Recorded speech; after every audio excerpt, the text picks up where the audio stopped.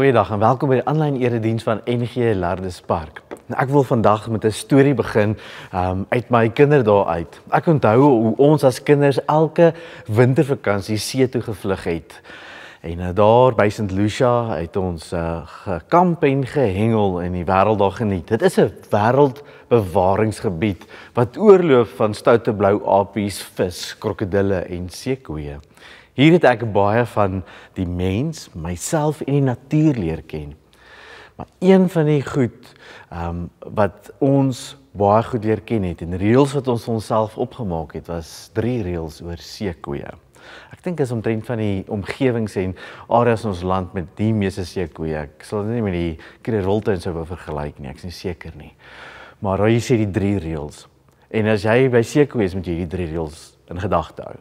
Die eerste een is moet die seekoei nie terg nie en hy sal hom vir jou nie vererg nie. Eerste reël. Tweede reël, moet nooit tussen 'n seekoei en die water in beweeg nie, want dan word die seekoei baie senuweeagtig en hy draai om en hy storm terug en jy skrik dalk groot. En die derde ene, 'n heel belangrikste van hierdie is moenie 'n seekoei koei met 'n kalfbaar pla nie. Want 'n mamma beskerm haar kinders soos geen pappa kan nie bly weg. Ek kan jou vele plekke in die St Lucia, groter St Lucia meer gaan wys waar bote vernietig is deur seekoeie omdat mense hierdie reël nie nagekom het nie. So vandag vier ons Moedersdag. En Moedersdag is vir ons almal 'n spesiale dag want ons elkeen het 'n moeder of 'n moeder gehad. 'n Moeder wat ons liefhet, beskerm, troos en haar oor ons ontferm. En daarom wil ons dankie sê vir elke ma wat God se liefde vir ons tasbaar maak. Vandag vier ons dit dankbaar saam met al ons moeders en ons moeders se menswees. Die Ou Testament praat oor God op drie verskeie maniere. Hy praat van God as 'n Vader, as 'n vrou en as 'n goeie herder. En mag jy vandag God ook as 'n moeder beleef wat liefhet, beskerm, troos en versorg. Kom ons herinner mekaar ook aan God se liefde vir ons deur ons roeping hardop saam op te sê. So ek nooi jou uit, staan op daar waar jy sit en kom ons gebruik albei ons hande en ons liggame en ons sê hierdie woorde hardop saam. Die liefde van God vir elke mens oor alle grense heen. Kom ons luister na uh, Madeleine Brits wat vir ons Larspark weekliks gaan lees en dan dien ons Here ook saam daarna met ons dankoffers.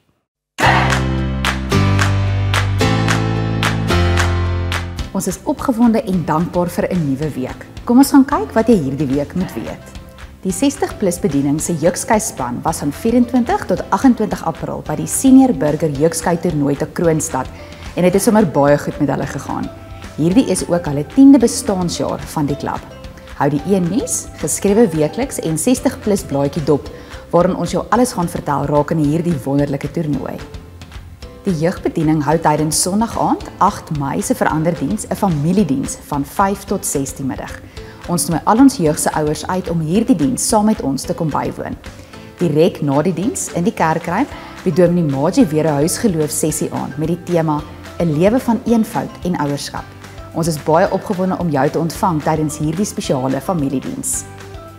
Maandagoggend 9 Mei het die 60 plus bediening weer 'n bestuursvergadering om 9:00 die oggend in die blou saal. Ons hoop om jou daar te sien. Daar is ook 'n 60 plus byeenkoms op die 11de Mei om 10:00 die oggend in die Artosaal. Ons verwelkom 'n gasspreker oor tegnologie en wys ook 'n insetsel oor gryskrag. Bring asseblief 'n heerlike bordjie eetgoed saam kontak gerus vir Frans indien jy enige navrae het. Daardie tyd van die jaar is weer aangebreek om fees te vier hier by die gemeente. 13 en 15 Mei hou ons weer warm winterfees en ja, alles gaan jou hierdie jaar lekker warm hou. Ons skop die naweek af met 'n nagmark vol lekker eetgoed en oulike dinge wat gekoop kan word en toegang hiervoor is gratis. En dan, drum roll please. Daar is ook 'n optrede van Joe Black 7 uur hier in die kerkruimte. Kaartjies hiervoor kan op Quicket gekoop word of gaan gewoon na ons gemeente se webwerf toe om dit daar te kan doen. En dan, die Saterdagoggend begin ons met 'n 5 km en 'n 10 km wedloop. Die wedloop begin half 7 die 10 km en half 8 die 5 km. Bring asseblief almal saam en jou hele gesin en kom geniet net die vars lug. Jy kan inskryf op die kerk se webwerf en 'n Google Docs vorm invul en ja, dan kom draf jy net sommer lekker saam. En dan direk na die wedloop wag daar vir jou pannekoek, jaffles, koek, koffie, pudding en nog vele meer. Dit gaan net soos ons tradisionele bazaar wees. En dan is daar ook geleentheid vir die kinders om te speel. Ons gaan soveel lekker geleentheid hê en dinge hê vir hulle om te doen. So bring almal saam, jou skoonma, jou kinders, jou vriende en kom geniet hierdie oggend saam met ons. Jy kan ook 'n verskil maak deur op die Saterdag bloed te kom skenk. Maar Sondagoggend 15 Mei sluit ons dan hierdie feesnaweek af met 'n gesamentlike openlig diens hier by die kerk. Roep sommer jou hele familie en onthou 'n hoed, sonbandroom en 'n stoel. So, hoe kan jy help met die winterfees? Jy kan ons help om die fees te bemark. Jy kan na die benodighede lys kyk en kyk hoe jy nog 'n bydrae kan maak. Jy kan jou Astra boksie terugbring en jy kan jou naam ergens opskryf om betrokke te wees. Alle inligting is op die gemeente se webwerf. Dit gaan 'n fees vir die boeke wees. En ons kan nie wag om dit saam met julle te geniet nie.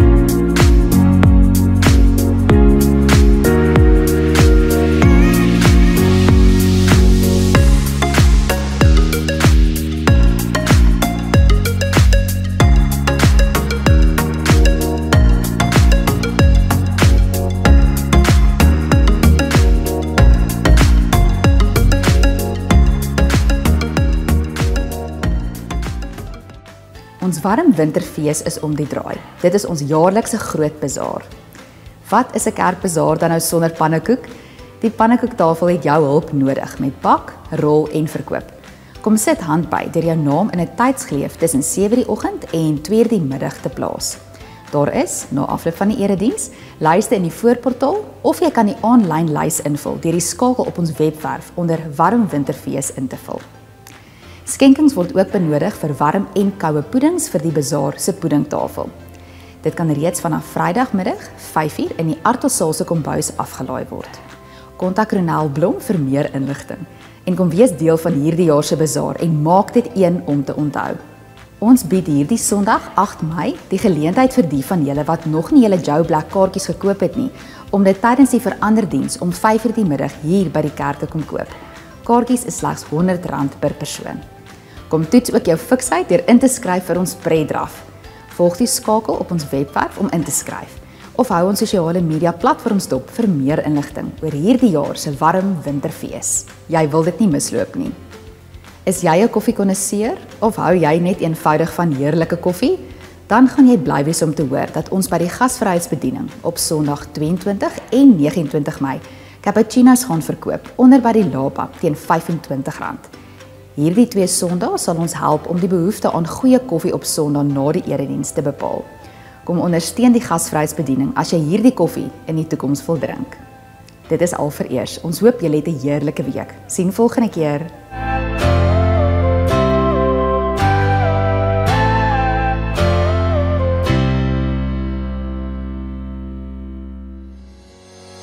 Om geld te kan verdien is 'n seëning. Om geld te kan spaar is eweneens 'n seëning. Om geld te kan gee is 'n groter seëning. Om te verdien en te spaar en te gee is die wyse waarop ons voorsien. Ons voorsien aan ons eie behoeftes. Ons voorsien aan die behoeftes van ons gesin en familie. Ons voorsien aan die behoeftes van diegene in nood. Verdien jou geld blymoedig, spaar blymoedig en gee blymoedig, want God het die blymoedige mens lief.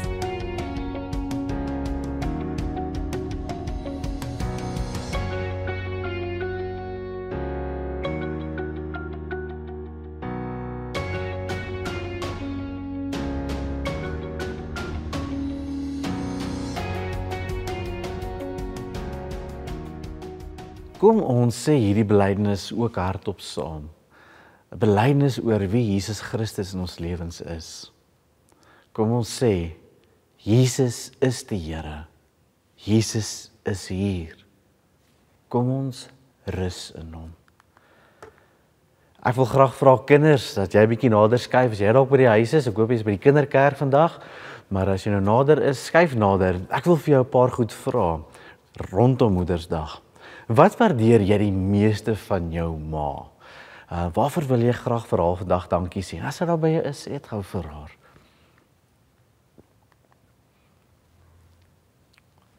Nou hierdie is vir julle en vir jou ma. Nou uh, net by wyse van hand opsteek. So in 'n ander woorde, as jy saamstem met die stelling steek jou hand op en as jy nie daarmee assosieer nie, dan laat sak jy jou hand. So ek wil gou by julle hoor. Jy moet nou kies tussen een van twee dinge. Die een ding is, wat sou jy verkies? Sou jy eerder die oggend nog 'n bietjie styf teen jou ma langer wou lê of sou jy eerder vroeg wil opstaan? Of sien dat jou ma vroeg opstaan om skorrelgoed te gaan was of papas julle kan natuurlik ook. So, styf teen jou ma, hand op, skorrelgoed was jou ma. Of hier's nog twee goed wat jy moet kies. Sal jy eerder graag saam met jou ma wil speel, steek op jou hand vir dit as dit dit is of wil jy eerder aan sien dat jou ma besig is om iets te doen wat vir haar dalk lekker en ontspannend is. Dis 'n moeilike een. Jy moet jou ma speel of sien net jou ma besig is met iets wat vir haar lekker is. Of die laaste ene is, sy jy graag eerder saam met jou ma op die bank wil lê en fliek kyk of sal jy graag eerder die eie fliek by die inry teater of 'n um, bioskoop wil kyk, die cinemas. So, fliek op die bank of op jou eie gaan fliek. Fliek op die bank saam met jou ma altans, op jou eie gaan fliek. Nou, so kry mamma 'n uh, idee. Nou, julle ken nou nie dalk vir almal vir Philip Kotse Junior nie. Nou Philip neem vir ons altyd die video's op en redigeer dit vir ons en hy het sy ma gevra om vir ons 'n spesiale lied vir Moedersdag ook te sing. Kom ons luister die lied opgedra aan ons moeders.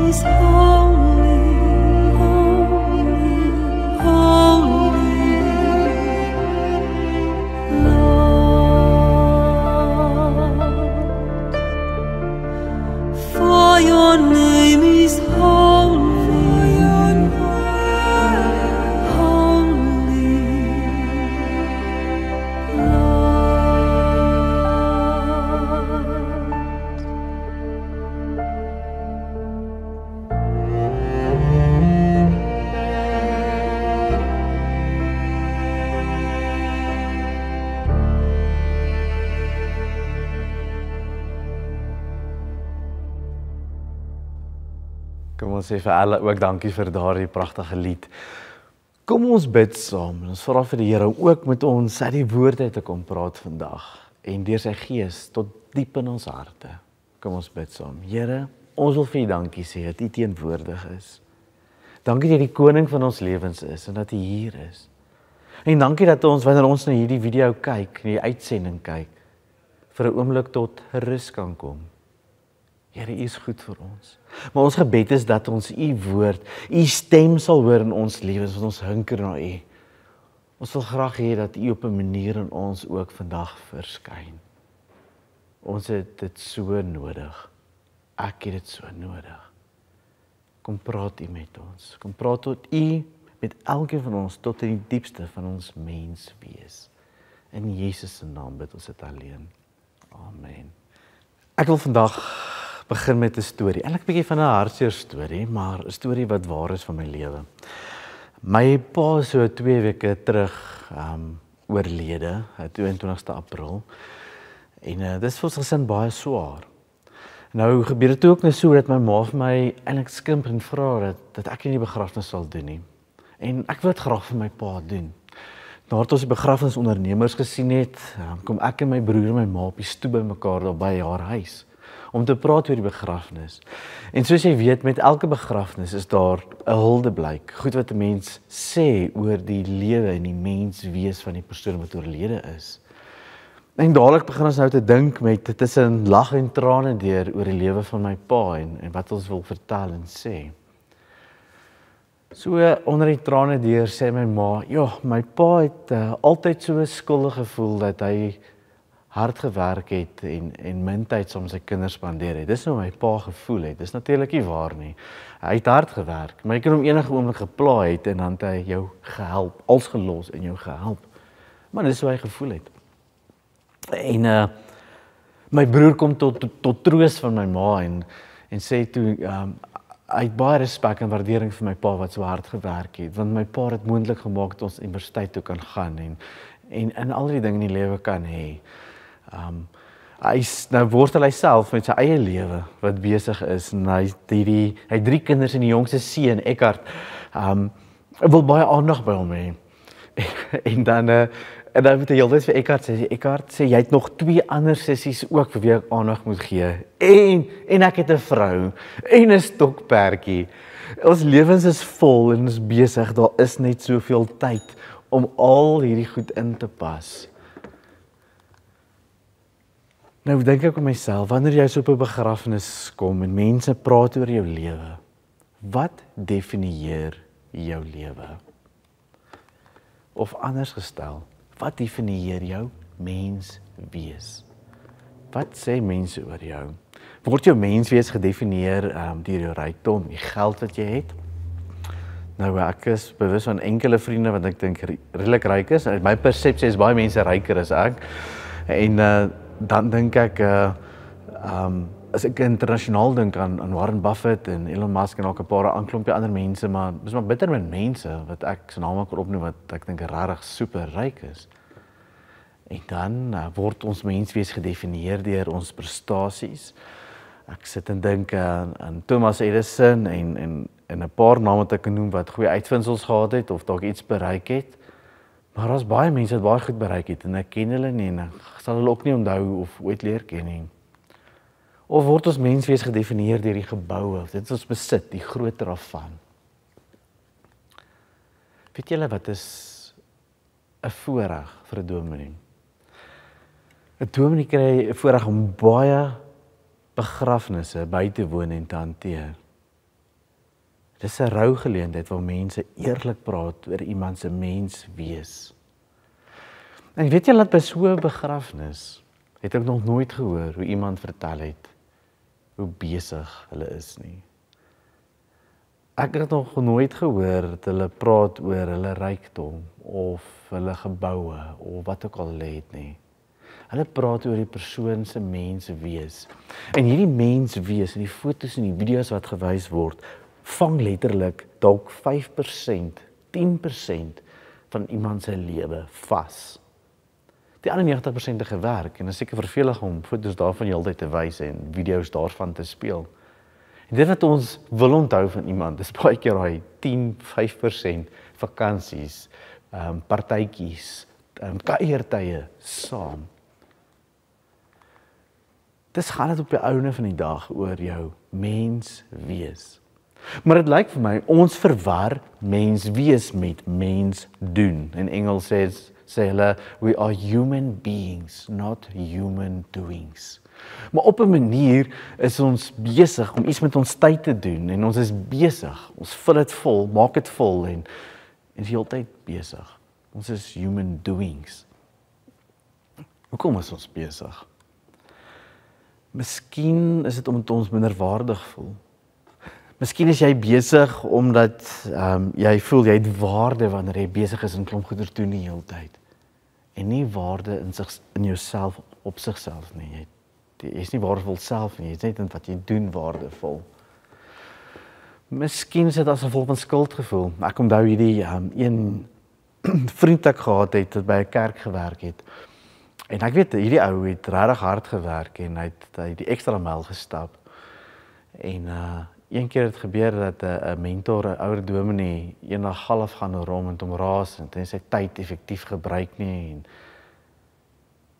En ek weet ek saam daai ou vakansie hou vandag, hierdie vriend van my sal op vakansie sit en werk want hy voel skuldig as hy nie besig is nie.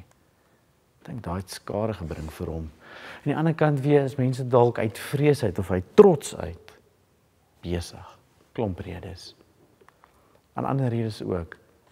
Maar wanneer ek na die hulde blyke op begrafnisse luister en oor die mense se mens wees iets probeer agterkom, klink dit vir my dat dat mens wees eintlik gaan oor verhoudinge waarin ons staan. Want as jy's die mense wat ons 'n verhouding mee gehad het, en selfs die beste verhouding, wat die hulde blyk op jou begrafnis lewer oor jou mens wees. So, verhoudinge gaan oor gemeenskap. Dit gaan oor bymekaar te wees. En elke gemeenskap het sy eie identiteit, hoe dit gevorm is en waarom dit bymekaar kom en in die identiteit, die die bestaanrede vir hierdie gemeenskap. Byvoorbeeld, ons doen eintlik van kleins af. Onthou dat toe ons op skool was, hy altyd na 'n groep mense gewys het en gesê het, "Ehm um, daar is die jocks of daar is die nerds of ek onthou toe ek jeugwerker hier was, ag jeugdominee was vroeër by die gemeente het van die kinders gepraat van die cool kerkies. Dis nou daai daai tieners wat baie godsdienstig is en baie betrokke is en eintlik 'n klik op hulle eie gevorm het. Die cool kerkies was die groep se naam gewees. Nou dit is so dat in die antieke wêreld het um, die mense geglo en dis nou in die tyd van Jesus en vroeër natuurlik dat daar's nie 'n individu nie, daar's nie individuele sielkunde gewees nie. Om jou menswees te bepaal, was eenvoudig net goed genoeg om te weet aan watter groep jy behoort. Jou groep het gesê waarna jy behoort. Byvoorbeeld, kom ek wys gou vir jou 'n voorbeeld. In Titus 1:12 skryf Paulus oor die mense wat op die eiland Krete bly, die volgende. Hy sê: Die Kretenses is altyd leenaars, ongediertes, lui vrate. Dis jou identiteit, jou Krete bly. Jy sê anders nie. Nou ons het baie keer gedink ons dade definieer ons, dit ons doen, maar ons dade wat ons doen vloei uit ons mens wees uit. En daarom dink ek is dit belangrik wanneer Jesus praat dat 'n boom aan sy vrugte geken ge sal word. Want die probleem is nie die vrug op sigself nie. Die probleem is die mens wees. Nou kom ons kyk 'n bietjie na hoe die een van ons eerste geloofsgemeenskappe daan Handelinge hierdie mens wees hanteer het en hoe hulle gemaak het met die nuwe gemeenskap wat hulle ook gevorm het. Kom ons lees Handelinge 2 vanaf vers 36 tot 47 saam.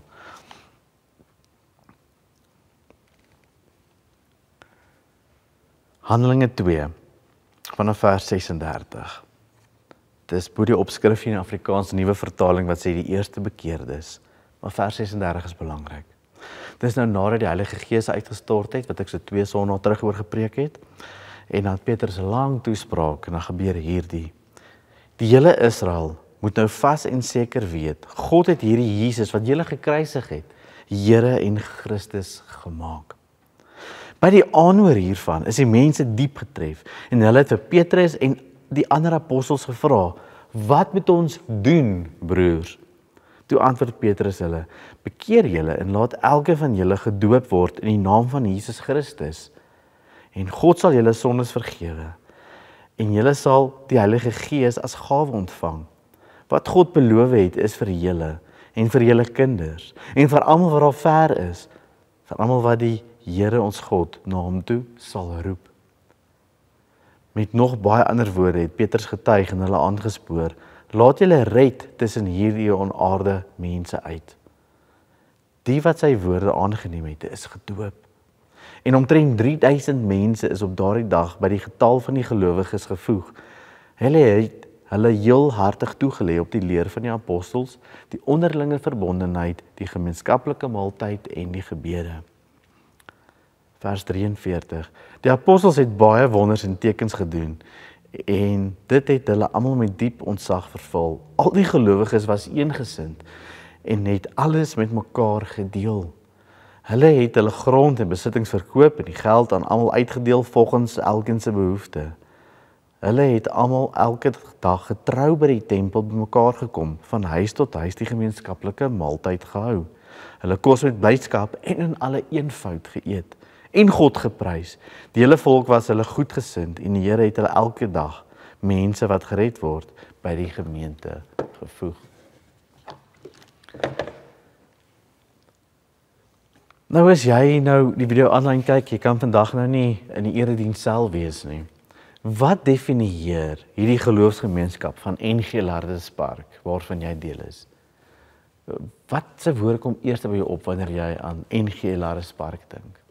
Ek hoop daar kom woorde op soos omgee, ehm um, of dat ons volgelinge van die opgestane Here Jesus is, ehm um, en dit nie noodwendig net die vriendelike kantoortannie is of uh, of 'n dominee, populêre dominee of 'n geboue of iets nie. God het hierdie Jesus wat jy gekruisig kruisig het, Here en Christus gemaak. Vers 36 is die kern van hulle belydenis. Dis wat hulle geloofsgemeenskap definieer. Want uit hierdie blydenis dat die Here, dat Jesus Here is, hy's ons koning en Christus gestuur is vir ons. Dit eh, word die geloofsgemeenskap se wese. So alweer hulle gemeenskap wees. Dit definieer hulle. Maar dan vra een van die mense 'n vraag vir Petrus en die apostels: "Wat moet ons doen, broers?" Nou wanneer ons Bybel lees en ek dink in ons godsdiens is ons so gekondisioneer om te dink aan doen doen doen doen die wet ons moet goeders doen. Um ons ons het 'n baie gereformeerde um teologie en godsdiens wat ons goeders moet doen. En hier hoor ons dit ook. Wat moet ons doen broers? Wat moet nou eens gebeur? Wat moet ons doen? Hier is nog 'n jong geloofsgemeenskap. En Petrus begelei hulle regtig met groot wysheid. En Petrus en die apostels begelei hulle te sê julle moet eers julle identiteit vind. Julle moet eers besef vir wie is julle as 'n gemeenskap of wie is jy as mens? Want die grootste probleem is dat ons vergeet wie ons is. Dan doen ons ander goed. So, watse raad gee Petrus daar wanneer hulle die vraag oor die doen gevra word? Dan sê Petrus: "Bekeer julle en laat julle elkeen van julle gedoop word in die naam van Jesus Christus en God sal julle sondes vergewe en julle sal die Heilige Gees as gawe ontvang. Dit klink so baie eenvoudige antwoord, klink soos 'n kerkantwoord. Dit klink weer eens uit my en jou bril, deur my en jou bril waar ons die tekste lees en die spiritualiteit wat ons het. Dis goed wat ons moet doen. Maar kom ek draai hierdie vir jou op jou kop en wys vir jou wat hierdie Jode hieronder verstaan. Kom ons kyk eers na 'n paar woorde. Die eerste een is bekeer. Jy sien wanneer ons dink aan bekeer, dan's bekeer vir ons baie keer 'n doen woord. Uh, vir baie van ons beteken om te bekeer is om om op te hou om sonde te doen of op te hou met hierdie sonde. Dis iets wat ons moet doen. Vir die Jode was bekeer 'n wees woord gewees. 'n Woord wat jy moet onthou wie jou menswees is, wie jy is. Wanneer 'n Jood hoor jy moet jouself bekeer, dan dink hulle aan sonde en iets op te hou doen nie. Hulle dink aan hulle besnydenis as kind. Hulle dink aan God wat hulle voorvaders en hulle uitget kies het. En dat as teken daarvan die besnydenis. So hulle onthou dat ek wie wie is ek? Ek is 'n uitverkorene van God, 'n geliefde van God. En daarom kan ek wees. So om te bekeer is nie 'n doen ding nie. Dis iets wat ek besef wat ek wie ek is, wat my identiteit is, my menswees is. En daarom sê hy, moet julle gedoop word. Doop is juis 'n identiteitsmerker in hierdie antieke wêreld wat ons vandag gebruik. Ons doop 'n baba om sê jy het 'n nuwe identiteit. God het jou gekies. Hy het 'n belofte aan jou gemaak. Hy maak jou deel van die gemeente. Jy behoort aan 'n groep. Jy kry 'n nuwe identiteit.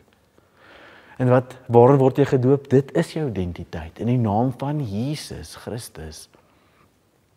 Jy kan in die naam van Jesus net wees. Dis iets wat jy ontvang. Die doop is nie iets wat ek en jy doen nie. As ons mooi praat daaroor en sê ons laat doop ons kinders, dis passief. God is die een wat aktief die beloftes maak.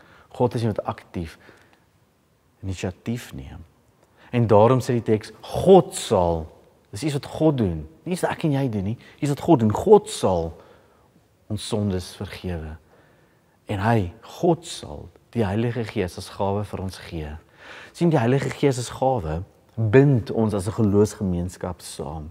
Want ek en jy en die persoon langs jou elkeen in die gemeente het dieselfde Gees van God en deur sy een Gees word ons saam gebind.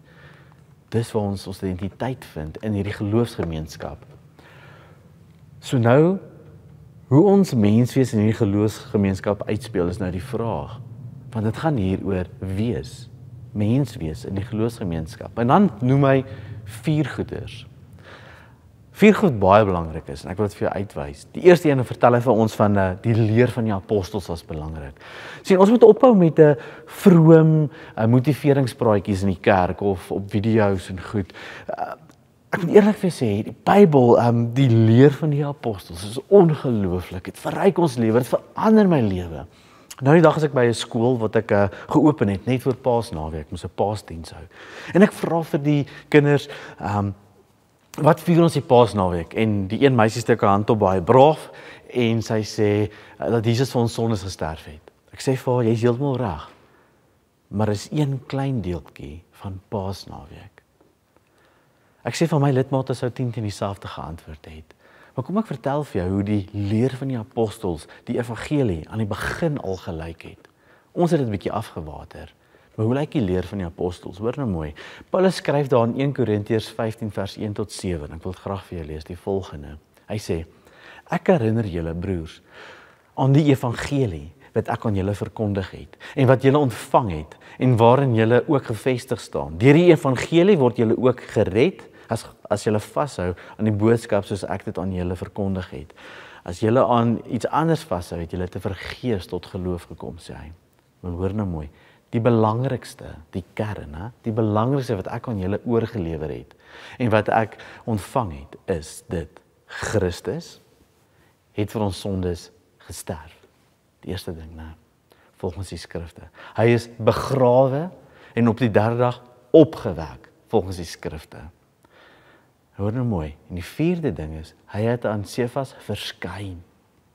En daarna aan die 12 en daarna aan meer as 500 broers te gelyk van wie sommige al dood is en maar meeste nog lewe. Sê daarna het hy aan Jakobus verskyn en toe aan al die apostels. Hoor mooi.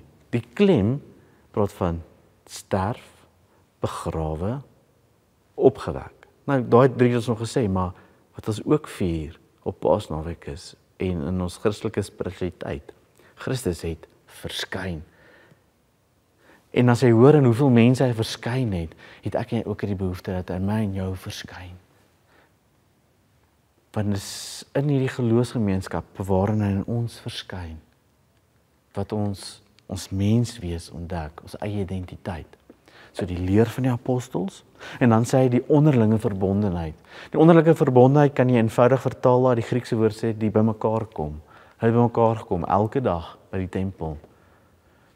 So ander woorde, hierdie twee goeters sê vir ons baie belangrik dat die leer van die apostels en die bymekaar kom in die gemeenskap wees, leer vir ons iets van ons menswees. Dit herinner iets van ons menswees. Dit help ons om ons identiteit te vorm en vanuit dit te leef. Ons word gedefinieer deur ons verhoudinge. En dan die laaste twee. Die eerste gaan oor ons identiteit as mens en die laaste twee gaan oor verhoudinge. Dan sê hulle die gemeenskaplike maaltye gevier. Nou, ehm um, letterlik staan daar die breek van die brood en ek en jy dink dadelik sommer aan die nagmaal wat gevier word. Ek uh, onthou ehm um, by daai selfde gesprek om tafel saam met my broer en my ma, my ma sê sy sien net 'n kans vir vir eet in die dag nie. Maar wat sy nie so mal as om kos te maak nie, sê sy dis dit baie sleg vir haar om alleen te eet. Want om te eet is vir ons sosiaal. Want om te eet bou ons verhoudinge. Om te eet saam met mense versterk verhoudinge. En die nagmaal is juis dit wat ons in verhouding met mekaar en God verbind en herinner van hierdie verhouding. So dit is vir ons mens wees verryk word. Laaste een is gebede.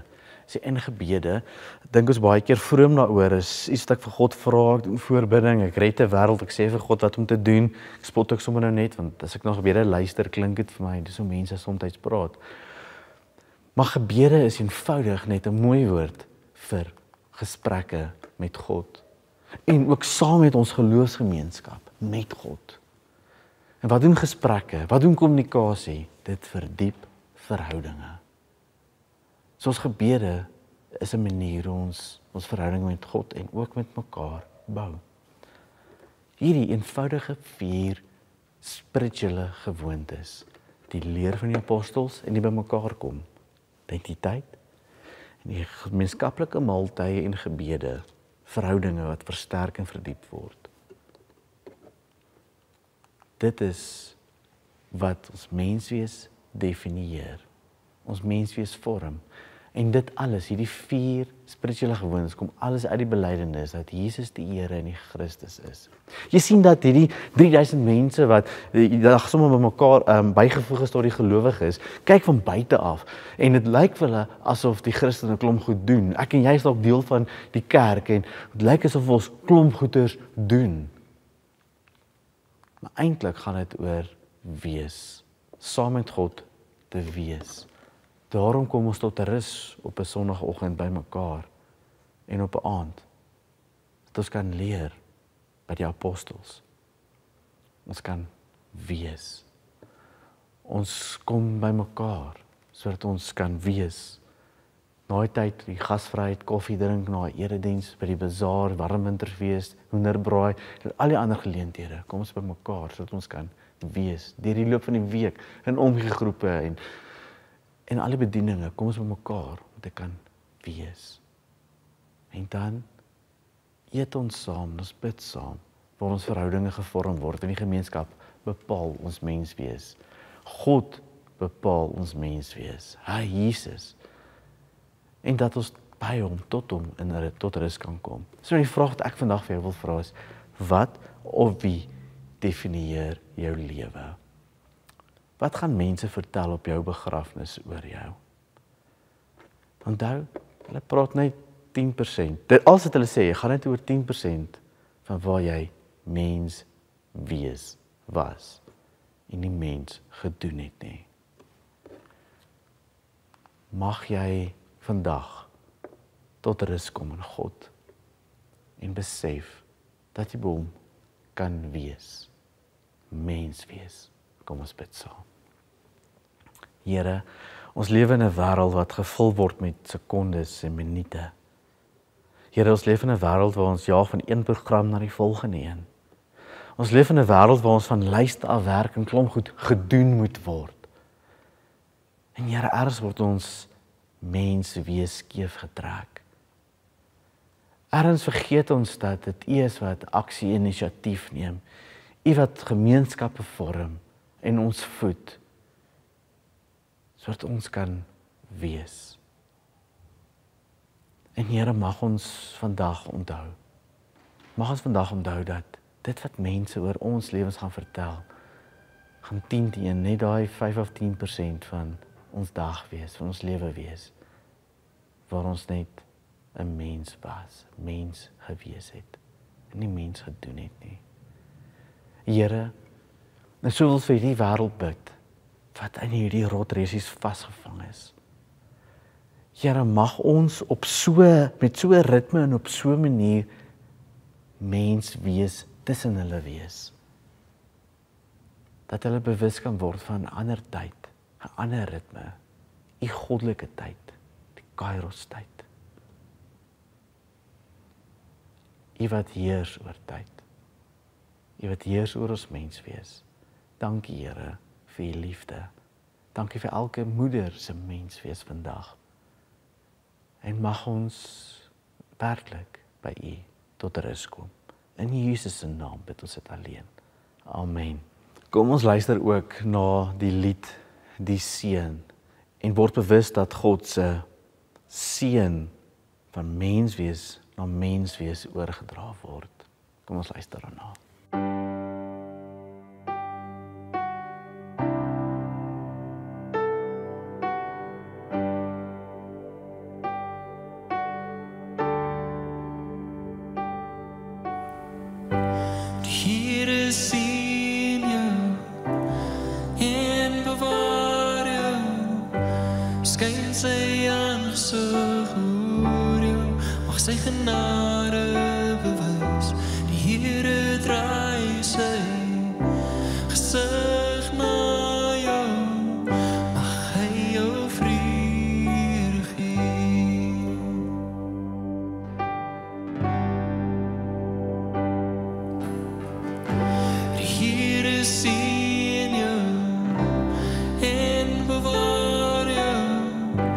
Skyn sy aangesig oor jou.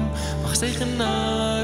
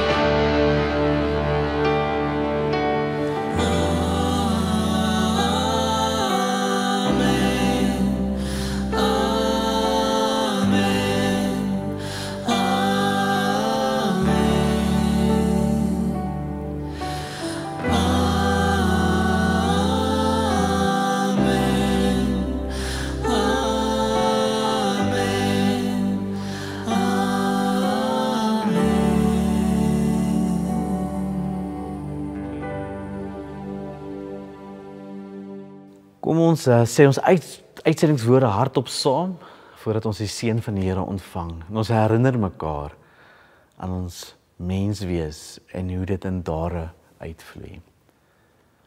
Waar ons ook al gaan, God stuur ons. Waar ons ook al is, God is met ons. Christus wat in ons woon, het iets wat hy deur ons wil doen. Gemeente, glo dit en gaan in die genade van ons Here Jesus Christus en die liefde van God die Vader en die teenwoordigheid van die Heilige Gees sal met julle elkeen wees. Amen.